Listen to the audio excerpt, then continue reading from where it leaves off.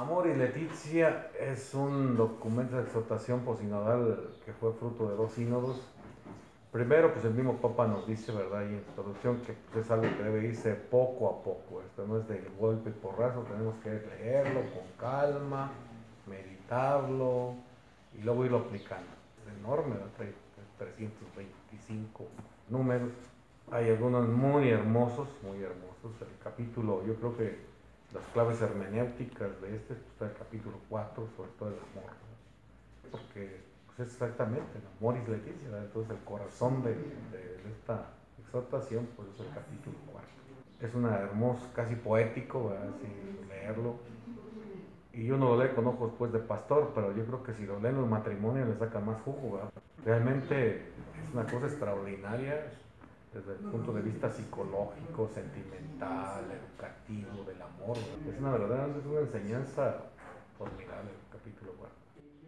Y el amor y la iglesia termina no solamente con el amor de, los esposos, que la familia, la familia sigue siendo la alegría en el mundo, los niños, como dice el prefacio del matrimonio, ¿verdad? Que con los niños Dios alegra el mundo, ¿verdad? El mundo, los niños son alegría, ¿verdad?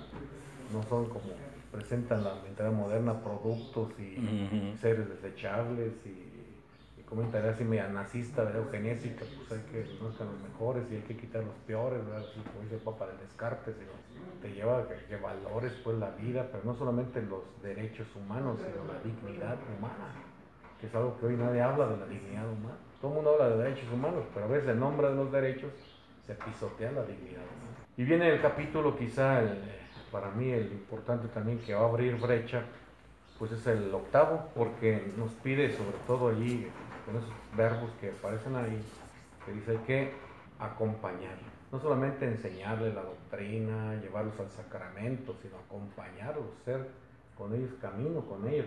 Hay que acompañar la experiencia de los matrimonios, porque no hay matrimonios así completamente perfectos, no hay papá perfecto, no hay mamá perfecta, no hay hijos perfectos ahí dice el Papa la fragilidad, que tener paciencia, y los conduciendo.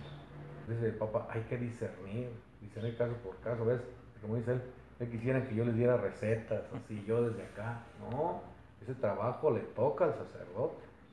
Platicar con la persona, platicar con los matrimonios, discernir delante de Dios cuál es la voluntad del Señor para su caso. Y luego pues hay que incluir es muy importante porque nosotros en la iglesia había tiempos de que pues, estos no, estos sí, estos aquellos no, ¿verdad? Por ejemplo, eh, hay cosas que dice, dice el Papa, por ejemplo, de, de la comunión, dice, el pan eucarístico no es un premio los buenos. Ha habido reacciones ante este capítulo octavo, pero es parte, es necesario para ir equilibrando las fuerzas.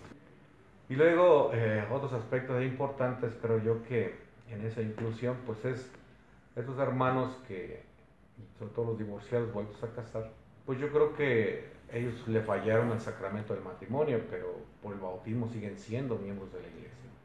Hay que hacerlos entender que no se autoescomulguen. A veces ellos, o a veces la abuelita, ¿verdad? que les dice, este, tú ni vayas a misa, tú no te acerques, tú estás en pecado. Bueno, a, misa vamos los que necesitamos la misericordia de Dios, el perdón. Ellos necesitan del Señor, necesitamos acercarlos al Señor. Claro, que participen en la vida y en la misión de la iglesia según sus posibilidades. También ellos tienen una situación que implica también ellos recurrir a la misericordia, que están en un proceso de conversión también, que, pidan perdón sus pecados, que cumplan su misión alegremente en la iglesia, cumpliendo ministerios como pueden ser de de justicia, de caridad, participar en la asamblea cristiana, quizá no como ministros de la comunión y como lectores, ¿verdad? Pero sí pueden. Pero a veces la automarginación es la más difícil, no es que la iglesia los margine, sino ellos a veces auto se marginan, se alejan. En ese sentido, pues el Papa dice que integrarlos.